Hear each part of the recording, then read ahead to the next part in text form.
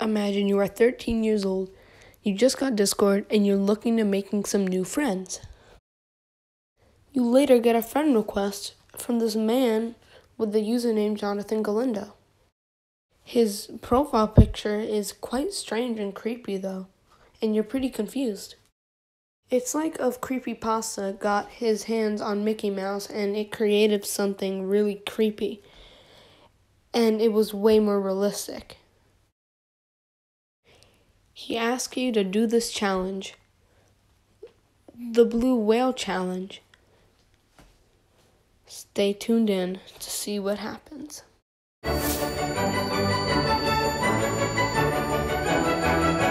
You're probably thinking, oh, this is another TikTok trend that I can get free likes on. But little did the teenager know that if they answer the question wrongly, it could haunt them forever. You say, yeah, sure, what is the challenge? Jonathan Galindo says, the Blue Whale Challenge. Now, what is the Blue Whale Challenge and what happens if you reject the challenge? Keep in mind that all his social medias were banned Twitter, Facebook, etc. But before we get into that, the Blue Whale Challenge is where he tells you on certain days to draw. Do, do not attempt this. If this video gets taken down, it gets taken down, but do not attempt this at all. Do not think uh, doing this at all, okay? Alright, glad, good. Okay get your wrist, and every single day you would add a dot, a line, and it would form into a blue whale on your wrist. So you're cutting your wrist, and every single day you would add a line. I believe it was around 50 days. He just told you what I just told you. It was 50 days, blah, blah, blah.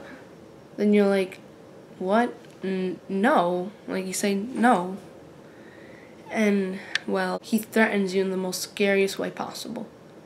He threatens to get your IP address, find out where you live, and do it himself. If you block it or reject the friend request in the first place, he is known to grab your IP address and freaking just break into your house and do stuff. But the IP address only shows your town, so I think you're good. But it's pretty scary stuff, and I think he just does it to scare you a bit. But today we're gonna find out if it's fake. Jonathan Galindo got his Twitter account suspended, his Facebook account suspended, but he has Discord, which is actually very haunting. I got a message from Jonathan Galindo. I'm pretty sure it was a fake Jonathan Galindo because what he's supposed to send you is not what he sent me at all. He started it with "How are you?" Um, so yeah, we are gonna actually find his Discord and like leak it. I'm gonna leak it, and we are gonna, we're gonna message him. His first appearance was on TikTok. He was wearing a goofy looking ass costume, creepy pasta hybrid crap. And he had a friend, right? I, I believe I believe they were I believe the friend was a furry. I don't know for sure. It's really weird, but not that they're furries. It's just as weird what he's been doing anyway. Yeah, and then they sit down on a couch with really bad camera quality.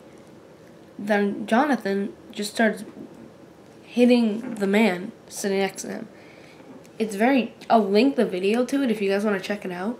But it's very scary and if you get scared easily, do not check it out, especially for my younger demographic.